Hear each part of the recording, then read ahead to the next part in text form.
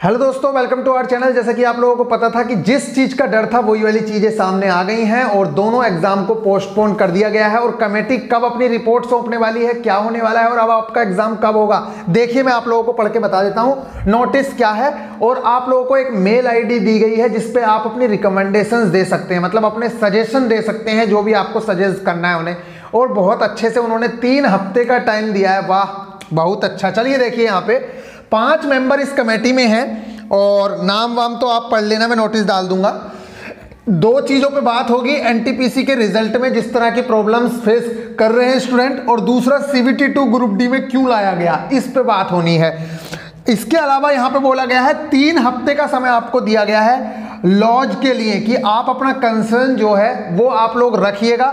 16 दो 2022 तक मतलब 16 फरवरी तक आप अपनी रिकमेंडेशन या जो भी आप सजेशन देना चाहते हैं, वो यहाँ पे बोला गया है। इसका नाम है R R B committee at the rate rail net dot G O V dot in मैं लिख के दे दूँगा, टेंशन की ज़रूरत नहीं है। इस पे आप लोग अपनी चीज़ें रख सकते हैं, रख क्या सकते हैं, सब बता ही दिया होगा, तब भी तीन हफ़्ते का समय इन्होंने लिया है। इसके बाद इन्होंने बताया है कि 4 मार्च 2022 को ये रिकमेंडेशन ये जो कमेटी है, ये अपनी रिकमेंडेशन देगी कि भाई रेलवे बोर्ड को कि किस तरह की प्रॉब्लम्स हैं और क्या करना है, क्या नहीं करना है। तो कहने का मतलब ये कह सकते हो आप कि एग्ज़ाम जब ये रिकमेंडेशन देगी, तब आपकी एग्ज़ाम डेट आएँगी। इसका कहने का मतलब सीधा सा है कि एग्ज़ाम जो है 15 मार्च के बाद ही पॉसिबल हो पाएगा, लगभग।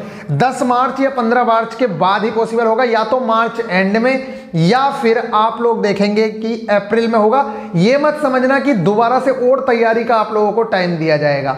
क्योंकि इन्हें पता है कि आप लोग तैयारी तो बहुत पहले से कर रहे हो और जितनी भी चीज़ें हैं तो बस कहने का मतलब यह है कि आपको अब लगभग एक महीना या दो महीने का डिले देखने को मिल सकता है।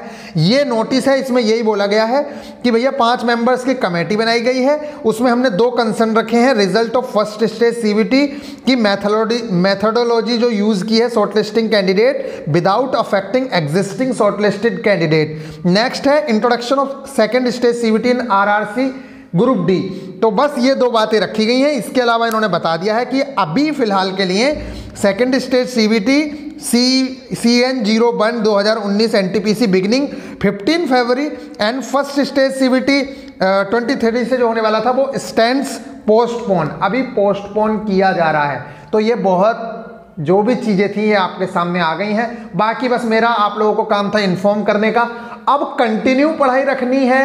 क्या करना है वो आप डिसाइड करना।